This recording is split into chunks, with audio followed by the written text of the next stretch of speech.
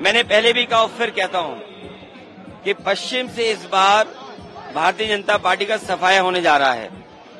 और इसलिए भी हो रहा है कि जिन किसानों को इन्होंने धोखा दिया है, कहने को कह रहे थे, आय दोगुनी होगी, लेकिन एमएसपी भी नहीं दे पा रही सरकार। एमएसपी का कानूनी अधिकार इंडिया गठबंधन समाजवादी पार्टी देना चाहती है और जब मौका मिलेगा तो उस पक्ष में काम करेगी। वहीं बड़े पैमाने पर नौजवानों की नौकरी छीनी और ये जानबूझ करके पेपर लीक कर रहे हैं। उत्तर प्रदेश में बीजेपी की सरकार है। जहाँ से पेपर लीक हो रहा, वहाँ बीजेपी की सरकार है। जब इतना सुरक्षा का इंतज़ाम किया इन्होंने, उसके बाद आखिरकार क्यों पेपर लीक हो रहे हैं? और जब पहली बार पेपर लीक हुए, उसी समय सरकार क्यों सावधान नहीं हुई?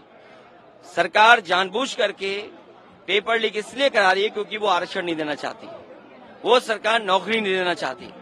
और इनके पास बताने को क्या है? बड़े बड़े होर्डिंग लगाए हैं। कहने को डबल इंजन है। लेकिन दूसरा चेहरा होर्डिंग पे नहीं आ पा रहा है। दूसरा चेहरा गायब है। और जनता वोट डाल के जो एक चेहरा बचा है, उसको भी गायब करेगी। 400 हार इस बार उन्हीं की होने जा रही है। 400 पार नहीं 400 हार। और जितने लोग हैं, संविधान और लोकतंत्र को खत्म करने वाले लोग हैं वो सब इस चुनाव में जनता के वोट से भगाए जाएँगे। अखिलेश जी राष्ट्रीय अध्यक्ष ने कहा है कि इंडिया गठबंधन के आधे नेता जेल में हैं आधे बेल पे हैं। क्या कहना चाहते हैं? भारतीय जनता पार्टी ने अपने दल को भ्रष्टाचारियों का गोदाम बना लिया है। भारतीय जनता पार्टी ने भ्रष्टाचारियों के लिए अपना दल गोदाम बना लिया है। जितने भी भ्रष्टाचारी हैं अब सब भारतीय जनता पार्टी में है। क्या आपने इलेक्ट्रल बॉन्ड का नहीं देखा कि किस तरीके से भारतीय जनता पार्टी का बैंड बज गया? सच नहीं बोल पा रहे हैं। हज़ारों करोड़ कोई चंदा देता है।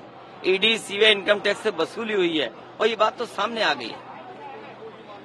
ये सरकार संस्थाओं से खिलवाड़ कर रही है और याद रखना, संस्थाएँ कमज़ोर होंगी तो लोकतंत्र कमज़ोर होगा।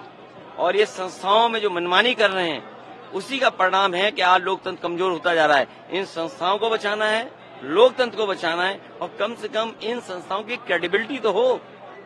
अगर क्रेडिबिलिटी खत्म हो जाएगी तो हमारे लोगों का भरोसा खत्म हो जाएगा।